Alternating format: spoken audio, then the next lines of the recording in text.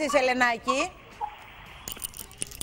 Ελένη, Ναι, ναι, ναι, πείτε μου. τι σπουδάζεις, λέω, τι σπουδάζεις; Σπουδάζω στην Εμποροπλιάρχον. Τι είπε, Μποροπλιάρχο. δηλαδή τι θα μπει σε πλοίο; Ακούω τι λέει. Είναι σε πλοίο τώρα και πηγαίνει για πάρο. Τη σκούνα Τι, τι Βαγγελή. είπες, δεν σε ακούω. Ναι, Σπουδάζω